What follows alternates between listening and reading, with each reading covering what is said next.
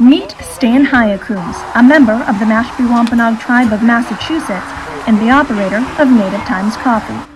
When the coronavirus pandemic hit the U.S., it not only took a toll on people's mental and emotional health, but their pockets as well. There was no work, right? I was working in the oyster farm with the tribe, uh, growing oysters. There's no restaurants open, so there's no oysters being sold. You can get the whole deal. He says instead of sitting at home collecting unemployment checks, he had to start making some type of money. It started out as just like a regular coffee business at the powwow. Soon, that small coffee stand blossomed into something much bigger and on wheels. Since the truck's debut on May 27th, Hayakum's has added an assortment of food to the menu, including his famous fish and chips and scallop rolls a passion he can finally share with the rest of the world. How's it going? Most Mashpee men can cook. I mean, I can cook anything. I've been cooking since I was like, since I could walk.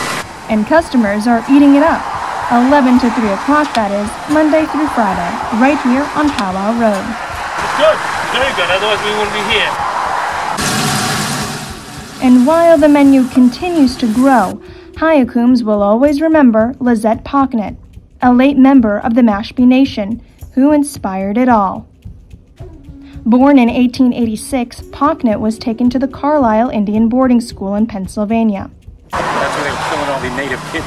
They were bringing them there to make them more Europeanized. But her stay was short-lived. She actually was charged with desertion. She escaped. To this day, her resilience inspires others to keep on pushing, even in the midst of a global crisis. Fish and chips is my specialty. In Mashpee, I'm Shawna Spameni.